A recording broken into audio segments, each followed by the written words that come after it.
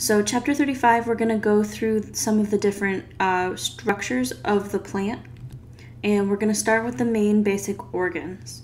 And plants have typically three organs the roots, stems, and leaves. And these reflect the evolution of plants on land. So, they are getting their oxygen, they are getting their CO2 and sun from above the ground, and then they also need to get uh, water and other nutrients from below the ground.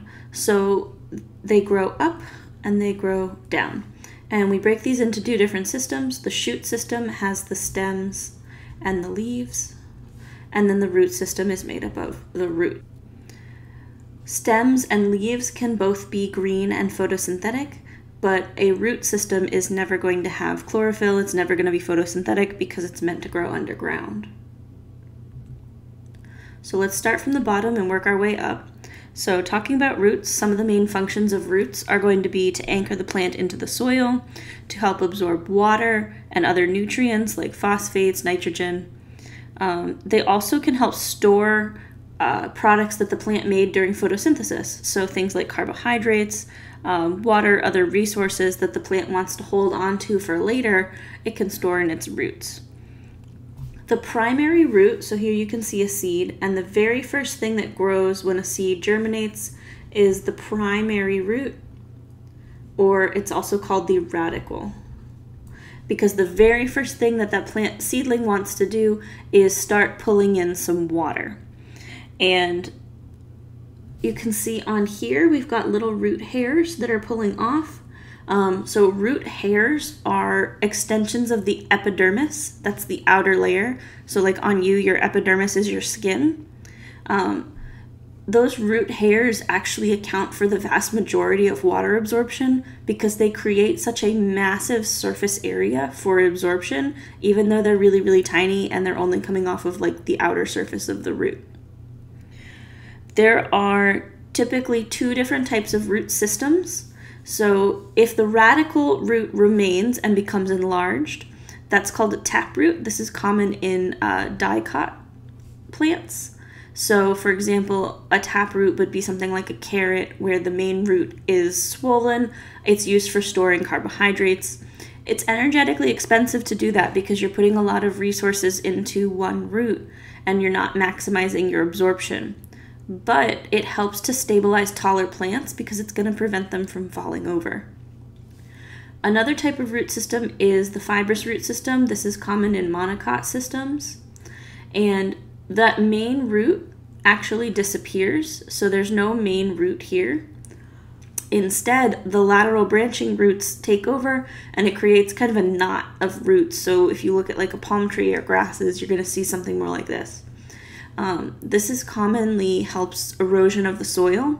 So this is going to keep the soil in place, make sure that that plant still has soil to be absorbing nutrients from. There are a lot of different specialty type roots that we see that kind of break these two molds. So let's go through a few of those. Um, prop roots you can see here. These are adventitious, which means they're emerging from the stem. They're taking advantage. Um, and these are actually, you're going to see some part of these be above the soil. And they're going to help to support tall, heavy, top, um, top heavy plants.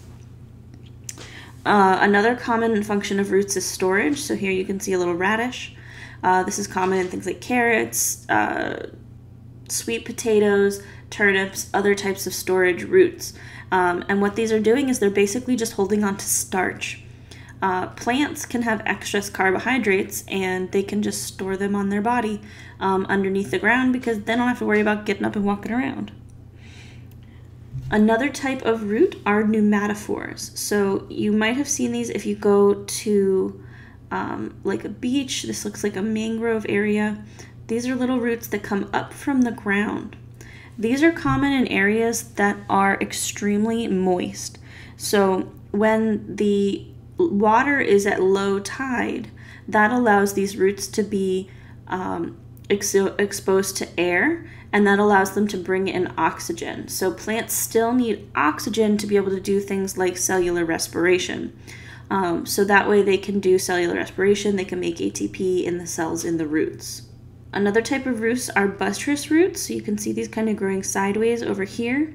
Um, here's a man for height here. Uh, these are common in areas where the soil is really shallow, so the roots don't grow very deep underground, um, but that they're very moist. So this is going to help to support really tall trees in moist environments. And another type of root are called strangling roots. Aerial just means anything above the ground. So you can actually see there's a tree under here, and then there's these roots growing on top of it.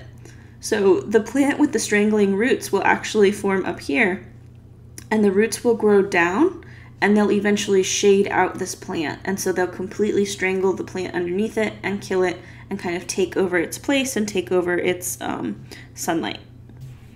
As we work our way up the plant, the next organ is the stem. So stems are going to function for holding on to the leaves. They're going to take the photosynthetic elements and elevate them up to where the light is. Stems can grow in uh, different directions to help the leaves bend towards the sun uh, in, in order to maximize photosynthesis. So these form an alternating system of nodes. So there'll be node on one side, and then a node on the other side, and then a node on the other side. Sometimes these alternate left or right, sometimes they kind of whirl around the plant.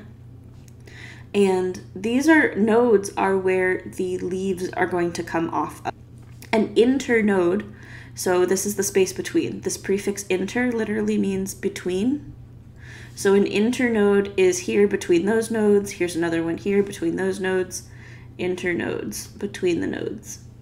So at the nodes, we have leaves coming off.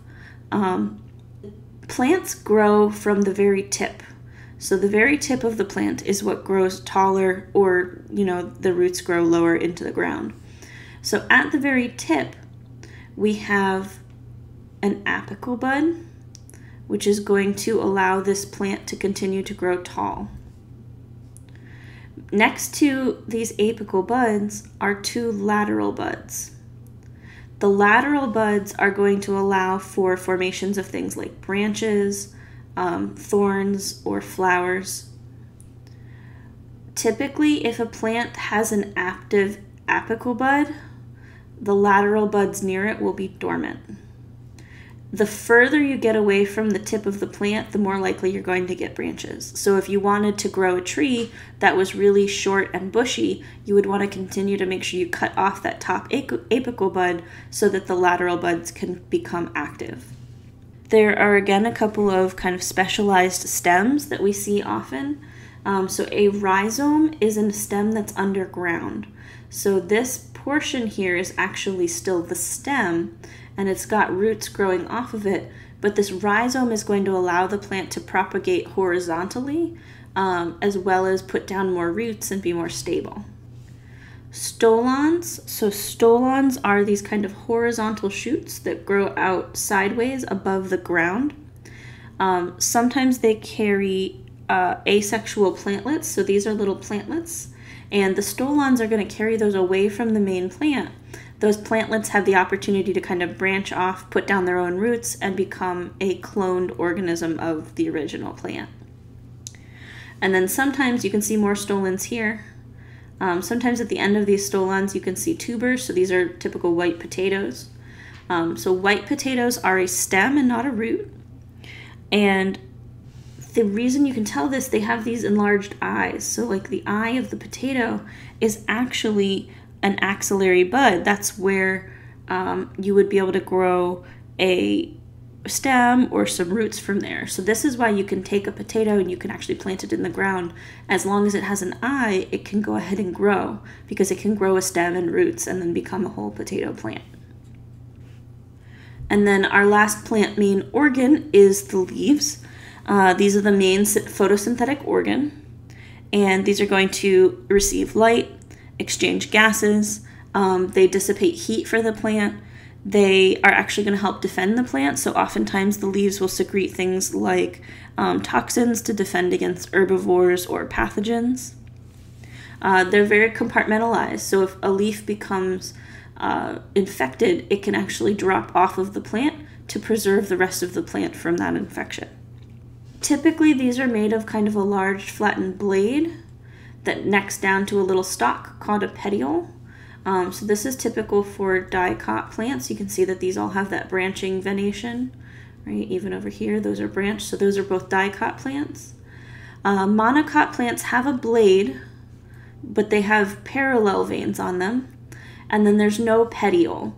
What happens is it branches down to a sheath, and that sheath just surrounds the main stem. A leaf can be simple or compound. So a simple leaf is going to be one blade that has one petiole attached to the main branch or stem of the plant. These have the advantage of being kind of large, wide surfaces for photosynthesis. A compound leaf typically has these little leaflets that have um, little stalks to connect each other um, to the petiole, and then that branches down to the actual branch or axillary bud. Um, an advantage of these is they allow for um, shearing wind to get through without ca- causing damage to the leaf. So, wind can travel through here if it's very windy without causing damage to this plant. Um, it also allows for increased compartmentalization. So, if one specific leaf gets infected with a pathogen, um, it can drop off and preserve the rest of the whole leaf. Just like all the other organs, leaves can have specialized functions. Um, so leaves can form tendrils. So this is actually a leaf of a vine. Um, so these are common on vines. They're going to reach out with these kind of curly looking tendrils to grasp onto other things to help provide support for the plant. One exception to this is grapevines. Grapevines are actually modified stems, not leaves. Um, another one is the cactus. So the spines on the cactus are the leaves. So on a cactus plant, the spines are not the photosynthetic organism. Instead, you've got this portion, which is the big fleshy portion, which is the stem. And that's what does photosynthesis for um, cactus plants. Leaves can also be used for storage. So you can see this kind of red onion here. Um, and you can see these little storage leaves. Those make up those layers. Um, and then this portion is actually part of the stem. And then you can see little roots down here and then plantlets. So this is common on succulents uh, where you have these little plantlets form, and that's going to allow for asexual reproduction. If you're a plant living in an environment that you're already well suited to, asexual reproduction doesn't take much energy. It's going to help you propagate into that area. Um, it doesn't increase genetic diversity, but if you're already well established, that's not such a big risk. Um, so plantlets are going to help, they're going to pop off, take root, and then allow for the growth of a potentially whole new plant.